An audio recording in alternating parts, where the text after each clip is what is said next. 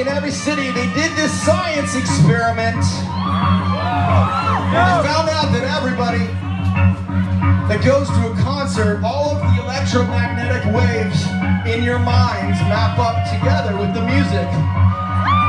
What a great fucking place for all of us to feel the same thing at the same time. Yeah. So we shall lift off the floor tonight. Starting now.